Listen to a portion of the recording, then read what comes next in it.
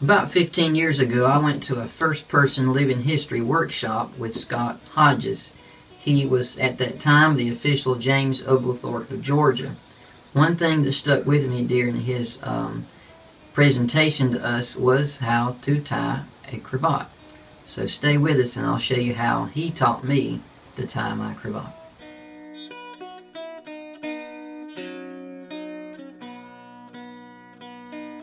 So before we get into this video, I would please um, implore you to subscribe to our channel.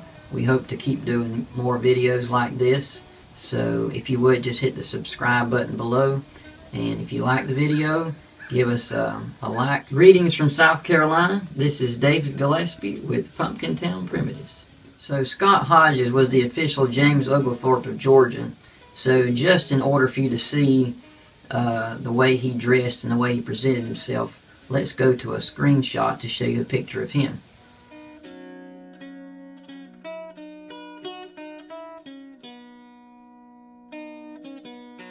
I hope you can see that he's pretty authoritative when it comes to dress and how to present oneself in an 18th century manner. So with that being said, uh, first of all, when I start to wear my cravat or start to tie it to put it on, I don't have any of these things on. I go straight from my undershirt and work in layers out to what you see here. Very well. So the first thing that Scott told me to do is to take the entire cravat and he folds it in half lengthways like this. So you basically are making a little strip, something like that there. You can do it like this, you don't have to do it like that, and you'll never get it perfect, so it's okay, it don't matter. But I always start out something about like this, and then I will fold it in half long ways to find the center, because this will be where I start at the back of the neck here. Okay, so now with the use of a mirror, I, I take that center portion there, and I always start at the back of the neck, right in the middle, and then I keep tension on this right here. You don't want it to be loose. The whole beauty of it is if it's nice and snug. You don't want to choke yourself because if you choke yourself, you're not going to enjoy that either. So, at that point, I'll start wrapping both sides, keeping it taut, like this right here. So I'll hold one side and then I'll go ahead and throw one side around and then I'll go ahead and keeping this tight, pull this side around and then you're making kind of like a stacked effect something like that there okay? Now I have these two tails down here. So this is where you wrap it over. So what I'll do is I'll just take and make a, a crossover like this here. And then I'll just pull one loop through like that. And then snug it up. Something like this you always want to make sure that the knot is top to bottom. It, you don't want it to be skewed. You want it to be one on top of the other stacked.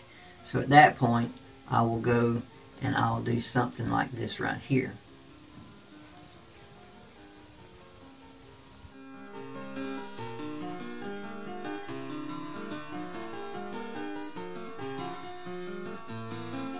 So next, I'll tighten it up just a little bit here and then I'll take the underside, the under flap first. I'll leave this one alone. Taking the under flap, I just kind of fluff it out like that. Then I'll take the one over the top and then I'll also fluff it out something like that there. Now we're ready to put the waistcoat on. Okay, so now I always put the waistcoat on after I get that established. And I usually do this in the front of the shop before the day starts. So it's kind of fun because people will come by and watch, you know, watch me doing it, and that uh, is always fun because I like to help people learn how to do this. So now you're trapping all this up under here. Otherwise, it would just splay out on top of the waistcoat, and it doesn't. It doesn't exactly work. So we'll go ahead and button these buttons down. So now as you can see everything's tucked in. So what I do now is I'll go and take the bottom fluff right here and then puff it out a little bit more and then take the top one and fluff it out a little bit more And now at this point, everything is subjective. It's all according to your taste. So I'll leave the top two or three buttons of my waistcoat unbuttoned, uh, as I've seen in paintings. So I think that's the better way to go. And you can do it something like this here. Now at this point, you want to make sure everything looks tidy on the sides. So there's always something that'll come loose or look untidy. But um, generally, I'll, I'll finagle with this a little bit until I get happy with it and kind of look at it from the side and, and these sort of things. So the last thing to keep in mind is you don't want it to be so tight that it chokes you. So that's why a cravat is typically cut on the bias. It doesn't have to be, it does help. Um, our cravats aren't necessarily cut on the bias because it takes more cloth. But if you have a nice piece of linen and you want to cut it to where the grain isn't like this, but it's cut at the bias, it will help it stretch a little bit keep in mind that these were days of uh, where air conditioning was not yet invented. So I've heard that the men would take the tuck, untuck the tails out, and in a hot summer, you know, day they would use the tails to wipe sweat off and things like that when, when it was necessary. And then you can always tuck the uh, the tails back down, and then go back through the fluffing process once again, and um, and tidy it back up. And at that point, I'm ready to put on my coat. So, uh, taking and putting on your 18th century garments are always a lot of work, but uh, that's the fun of it, is to do it in the proper order. So, with that being established, now we have the coat on. It would be impossible to do this with the coat and waistcoat on in, in, in the best way, so I always try to do it in stages or in those particular steps. And also for you gentlemen out there who wear wigs, um, it's very difficult to put the cravat on with the wig on because the queue in the back will always be in the way. So in order not to mess up the wig or keep it untidy, it's just best to put on your banyan cap or to just go bareheaded, so to speak, while you're doing this first, and then let the wig be the last step in the process of dressing. So as you can see with the wig, the, the queue in the back would be in the way. So you want to do all the uh, cravat work before you get to the section where you put the wig on. I personally prefer a thin cotton cravat or a thin linen cravat. I, I love silk as well if it's uh, not too extremely hot. I've also found that in the extreme heat of the summer months in South Carolina especially that I prefer to go with a neck stock instead of a cravat.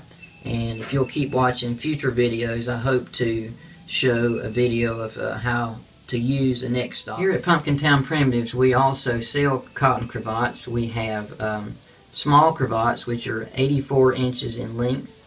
They are the ones that I typically use because I'm a little guy. I think my neck size is like a 15 in the real world.